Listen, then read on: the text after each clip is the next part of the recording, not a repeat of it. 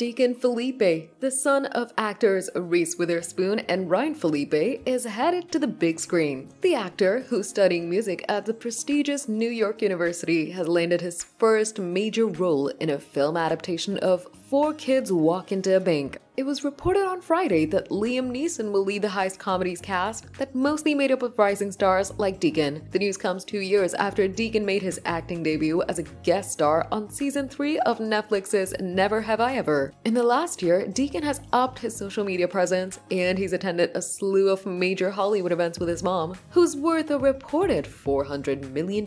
Along with Deacon, the Four Kids Walk Into a Bank cast features the talents of up-and-comers Talia Ryder, Noah Jupe, Whitney Peak, and Jack Dylan Grazer. Frankie Shaw, best known for her acting and performances in Smilf and Mr. Robot, will helm the upcoming project. The film centers on a heist that goes horribly wrong. All while the characters aren't prepared for what happens when things turn violent. Liam Neeson plays ex-bank robber Danny, whose teenage granddaughter Paige means the world to him. The book version of Four Kids Walk Into a Bank has been described as a darkly comedic story of four burgeoning child criminals and their elaborate plans.